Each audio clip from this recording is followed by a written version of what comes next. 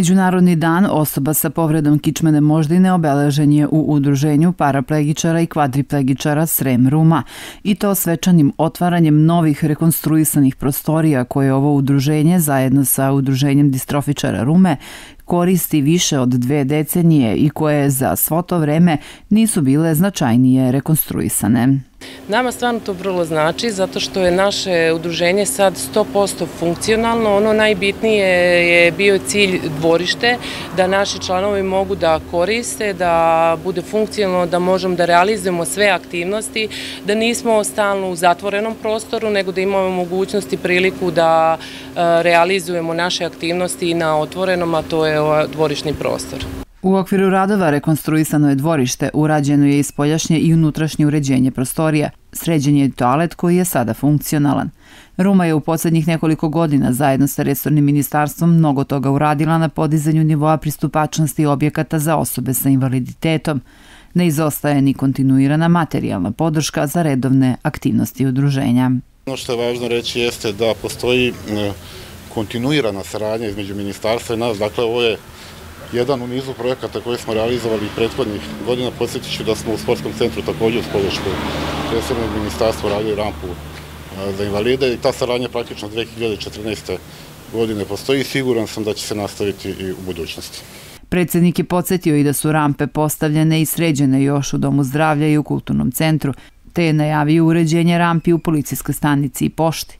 Do rekonstrukcije prostorija udruženja došlo je u saradnji sa Ministarstvom za rad, zapošljavanje, boračka i socijalna pitanja. Objekat e, koji smo rekonstruisali je u vlasništvu opštine Ruma. Ovaj objekat je ustupljen e, udruženju paraplegičara Srema iz Rume na korišćenje i nije rekonstruisan e, skoro 23 godine. Ovo je prva ozbiljna rekonstrukcija, a pored samog udruženja i same rekonstrukcije udruženja urađena je kompletna rekonstrukcija i dvorišta i ovo je jedinstven primer da je urađena rekonstrukcija s novom savremenom metodom betonskih ploča gde članovi udruženja mogu da sprovode svoje aktivnosti, da imaju sve svoje programe i na otvorenom pored samog udruženja i naravno urađena je rekonstrukcija toaleta na šta smo isto ponosni s obzirom da je ovaj objekat zaista bio u jednom devastiranom stanju. U rekonstrukciju ovog objekta uloženo je 4 miliona dinara koje je obezbedilo ministarstvo. Prema rečima pomoćnice, trenutno se intenzivno radi na uređenju prostorija ovakvih udruženja širom Srbije, a cilj je da Srbija bude bez barijera. Prema najnovijim podacima, odnosno kretenjima makroekonomskih indikatora u Vojvodini, a kao rezultat aktivne politike ulaganja u oblast turizma koju sprovodi pokrajinski sekretarijat za privredu i turizam, zabeležen je novi porast broja turista. U periodu od januara do jula ove godine zabeležen je značajan rast broja dolazaka turista od 6,6% i rast broja noćenja od čak 5,2% u odnosu na isti period u prošloj godini, što Vojvodinu čini brzo rastućom regijom u ovoj oblasti na osnovu novih pokazatelja. Vojvodinu je u prvoj polovini ove godine posetilo ukupno 411.693 turista. Opština Inđija formirala je radnu grupu za organizaciju manifestacija, sve u cilju efikasnije i bolje organizacije kulturno-turističkih manifestacija. Predstavnici lokalne samouprave uz podršku ustanova i javnih preduzeća, policije i vatrogasne službe zajedno će raditi na svakom detalju koji se tiče organizacije kako bi se izbegla svaka vrsta nedostataka. Zaista do sada nismo imali E, konkretnih problema, da mogu da se pozovem na nešto i da kažem da smo to tad imali, možda bi, možda bi to sprečili. Ja se nadam zaista da se to neće dešavati, ali eto, ne da je Bože ako se desi, moći ćemo da, da, da reagujemo brzo.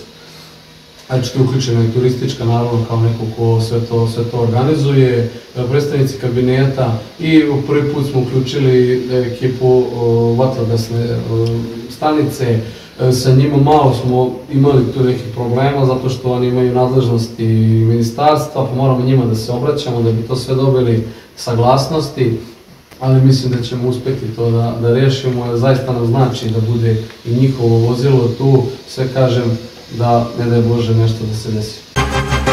Od 6. do 8. septembra biće održana sedma gastronomsko-turistička manifestacija Gastrosrem u Novoj Pazovi. Manifestacija promoviše druženje i uživanje kroz gastronomiju, tradiciju i humanost. Svečano otvaranje je u Big Shopping centru u Novoj Pazovi zakazano za petak 6. septembar od 18 časova, a program će sva tri dana trajati do 23 sata. Gastrosrem ove godine okuplja vrhunske gastronome Starog Srema i Vojvodine, proizvođače hrane, pića, umetnina i suvenira, lokalne bendove i sjajne performere. Očekuju se i programi za decu, nagradne igre kao i gostujuće manifestacije, takmičenja u kuvanju i još mnogo drugih aktivnosti. Sutra počinje manifestacija Beška Fest u Beški, poznata kao festival vojvođansko-bavarske kulture i trajaće dva dana. I ove godine pripremljen je bogat program pored bavarskih i vojvođanskih gastronomskih specijaliteta koji će se naći na štandovima na sportskim terenima u centru Beške. Prve večeri nastupit će kudovi sa teritorije opštine Inđija, tamburaški orkestar Ravnica, bend i DJ Marko Vuletić i narednog dana u subotu 7. septembra od 19 časova počinje gastrofestivala od 19.30 je vreme rezervisano za kulturno-umetnička društva. Gara Visokak na Beška festu nastupa od 20.30,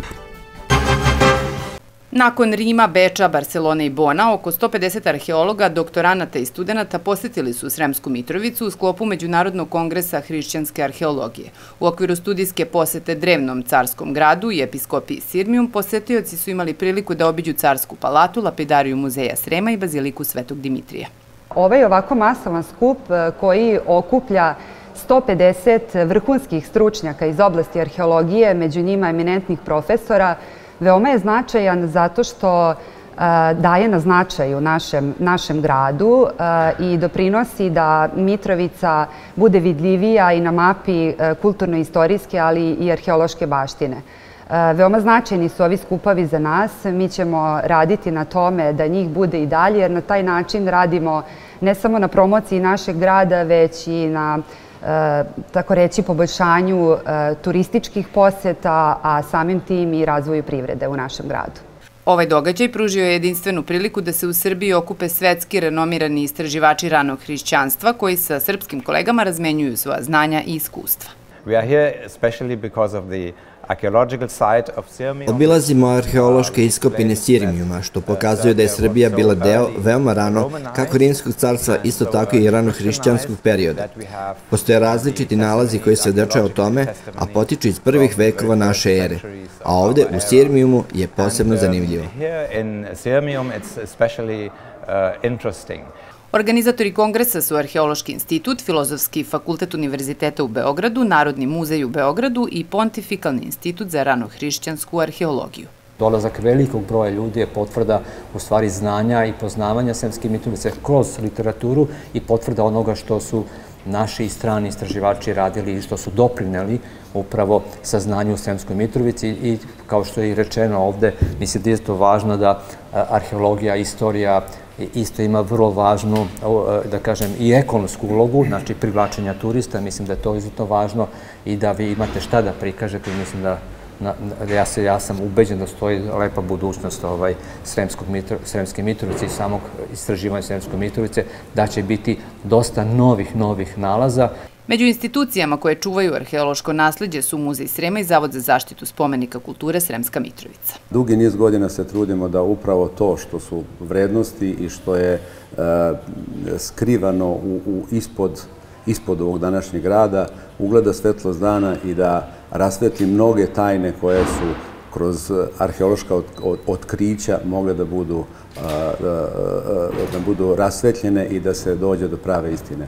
Sirmijom je jedna velika bajka, neispričana bajka i nadam se da će istraživanja koja slede i dalje otkrivati tajne te velike bajke i da će arheolozi s celog sveta sigurno poželiti da dođu u ovakav grad kao što je Sirmijom, jer to je zaista nešto što je verovatno i u karijeri svakog vrhunskog arheologa da dođe na ovakvu lokaciju i da istražuje na ovim prostorima. Bila je ovo dobra prilika za razmenu znanja i iskustava, ali i prilika da se Sremska Mitrovica iz nekog drugog ugla predstavi svetskim stručnjacima iz oblasti arheologije. Od juče na području policijske uprave u Sremskoj Mitrovici na teritoriji Sremske Mitrovice, Stare Pazove i Inđije registrovane su četiri saobraćene nezgode, povređene su dve osobe. Darko Trivković izabran je za novog predsednika Saveza sportova u Indiji na nedavno održanoj Skupštini Saveza sportova. Trivković je rukometni trener sa bogatim dugogodišnjim iskustvom u oblasti sporta. Kako je istakao prioritet u narednom periodu, biće poboljšanje uslova za najmlađe kako bi indijska deca postizala najbolje sportske rezultate. Sportski savez opštine Ruma organizator je ovogodišnjeg šestog rumskog polumaratona koji će biti održan 21. septembra na ulicama Rume. Start polumaratonske trke, štafetne trke kao i DDOR trke zadovoljstva zakazan je za 16 časova. Start finiš zona za sve trkače nalazit će se na gradskom trgu u samom centru grada, a trasa šestog rumskog polumaratona je nepromenjena u odnosu na prošle godine. Trčeće se centralnim rumskim ulicama, trasom koja je zvanično sertifikovana brza i ravna, gde je obeležen svaki kilometar. Prijave su u toku pa se svi zainteresovani trkači pozivaju da na vreme obezbede svoje mesto, a prijave se vrše putem sajta trka.rs. Zdravstvena zaštita svih učesnika obezbeđena je na celokupnoj trasi i u cilju trke, a pokrovitelj šestog polumaratona je opština Ruma.